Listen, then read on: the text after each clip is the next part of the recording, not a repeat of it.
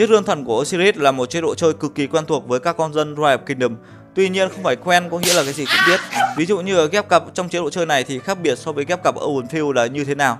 Có những đặc điểm lưu ý nào mà bạn cần biết ở chế độ chơi này? Mình là Bình Tĩnh và chúng ta bắt đầu video ngay nào.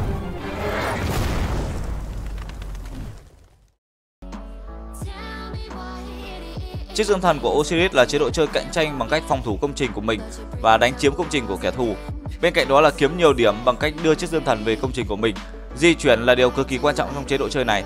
Từ Obelisk đến đền thờ sa mạc, từ đền sa mạc tấn công đền chiến tranh, di chuyển rất nhiều. Đó là lý do tại sao chế độ chơi này vẫn thường gọi là chế độ chơi của kỵ binh. Khả năng cơ động sẵn có kết hợp khả năng sốc sát thương cao là những điểm mà chế độ chơi này rất cần. Và tốc độ chính là sự khác biệt lớn nhất trong những trận đánh open field và những trận đánh trong chiếc dương thần Osiris. Ở những trận đánh thông thường, bạn thường đánh theo bôn.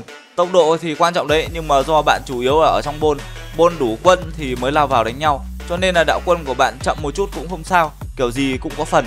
Đánh xong thì lại ngồi quanh đợi để nhồi rally.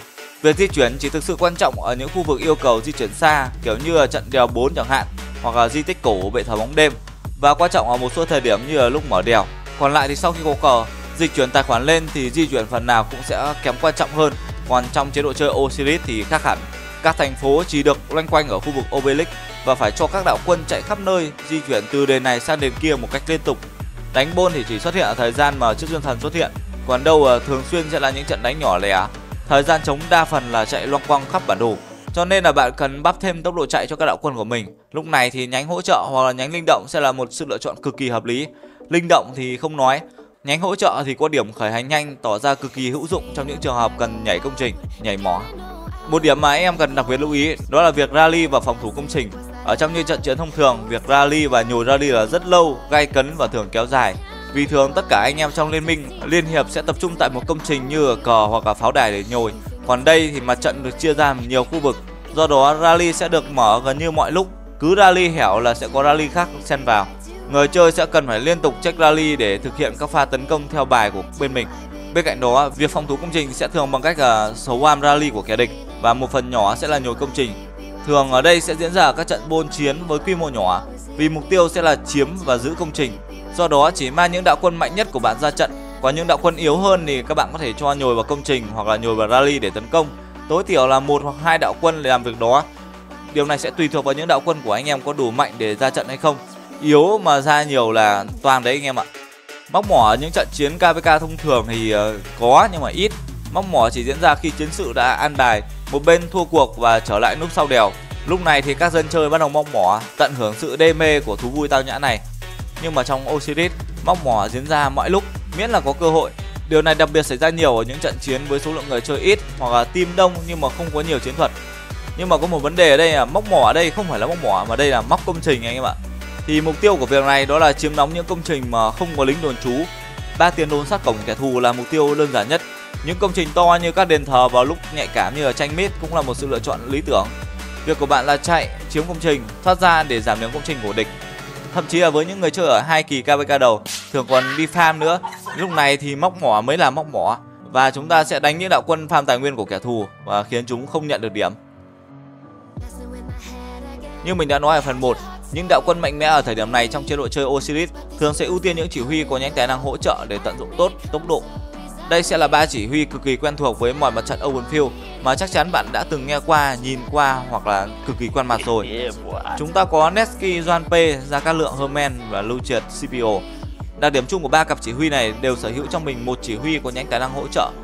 Tuy nhiên, vì yêu cầu về mặt sát thương nên các chỉ huy này thường đi phụ. Đây sẽ là ba cặp chỉ huy cực kỳ mạnh với rất nhiều bộ chỉ số tốt. À mà thôi, chắc mình cũng không cần khoe đâu, ai chơi Royal Kingdom chả biết. Tuy nhiên với chế độ chơi Osiris, như mình đã nói ở phần 1, bạn cần đảo ngược lại. Ba chỉ huy của nhánh tài năng hỗ trợ sẽ đi chính để tận dụng tốt hơn tốc độ hành quân của mình. Chúng ta có Joan P, Nesky, Herman Gia Cát Lượng và Sivio Lưu Triệt. Dĩ nhiên đây không phải là mình chém gió. Hãy nhìn vào bảng số liệu từ một giải OL vừa rồi do mình tổng hợp. Đầu tiên là cặp Joan P Nesky. Ở chiến khu Horus, cặp đôi này đem lại tỷ lệ thắng là 63,96%, ở cụm Anubis, sấp xỉ là 63%. Cụm tiếp theo thì cũng không ngoại lệ là 68,51%. Tuy số lần xuất trận thì không đồng đều ở mỗi khu vực nhưng tỷ lệ thắng thì thực sự rất khác biệt. Nếu so với cặp đôi Nesky Juanpe thì tỷ lệ thắng sẽ thua thiệt khá là nhiều. Nó lần lượt là khoảng 40%, 44% và 46% ở các chiến khu như Horus, Anubis và Bastet. Anh em thấy tác dụng của việc chọn đúng cặp chưa? Tốc độ là ưu tiên tuyệt đối của các cặp chỉ huy trong chế độ chơi Osiris. Điều này quan trọng mình cần nhắc lại N lần. Câu chuyện cũng tương tự với cặp đôi Hermen ra cát lượng. Ở chiến khu Horus, Hermen ra cát lượng có tỷ lệ thắng 60%, cao hơn so với 52,3% từ ra cát lượng Hermen. Với Anubis, tỷ lệ thắng của Hermen ra cát lượng là 58,66%, cao hơn so với 56,4% của ra cát lượng Hermen. Không đáng kể nhưng mà vẫn cứ gọi là xịn hơn. Cuối cùng là ở Bastet, tỷ lệ thắng của cặp đôi này là 68,06% và ở phía ra cát lượng Hermen là chỉ là 55,67%. Hai con số phản ánh độ hiệu quả cực kỳ rõ ràng khi mà chúng ta cho Hermen đi chính. CPU lưu triệt thì có khác gì không? Dĩ nhiên là không rồi. Đây sẽ là những con số thể hiện sự áp đảo của CPO lưu triệt so với lưu triệt CPO ở cả ba chiến khu. Số lượt lưu triệt CPO ra trận là quá ít so với CPO lưu triệt, toàn là ra trận 1 200 trận thì con số sẽ không phản ánh chính xác. Mặc dù thì CPO và lưu triệt vẫn cao hơn. Bạn thấy đấy, việc cho các chỉ huy có nhánh tài năng hỗ trợ vừa có tỷ lệ thắng cao hơn, vừa đem lại giá trị hỗ trợ cao hơn nhờ tốc độ. 10 điểm hợp lý đúng không anh em? Vậy đó là ba cặp mạnh nhất. Cặp đôi thứ tư xứng đáng được góp mặt vào đây là cặp gì? Đúng rồi, hoặc khứ bệnh William. Cặp đôi luôn chiếm một trong hai vị trí xuất trận nhiều nhất ở cả ba chiến khu. Tuy không có nhánh hỗ trợ nhưng với tốc độ cơ bản tốt, khả năng làm chậm, sát thương cao và độ lì lợm trên outfield thì không có lý do gì mà chúng ta không lựa chọn cặp đôi này cả.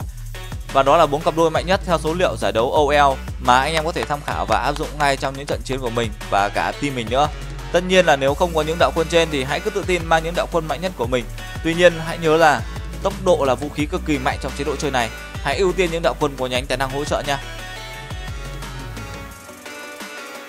Ở phần này thì mình sẽ chia sẻ một số trích lỏ trong chế độ chơi này.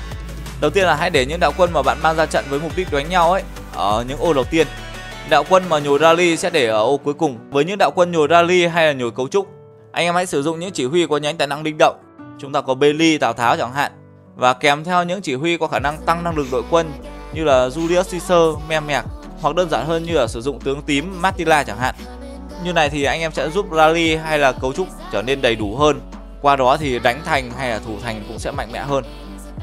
Nhớ là khi anh em lưu vào khe thì hãy đổi luôn trang bị và minh văn nhé Lúc này thì ra quân đỡ phải điều chỉnh nhiều, lười lắm. Điều thứ hai là khi anh em chơi trên bản PC Hãy tận dụng những phím gắn lệnh cho những đội quân để có thể điều khiển dễ dàng hơn.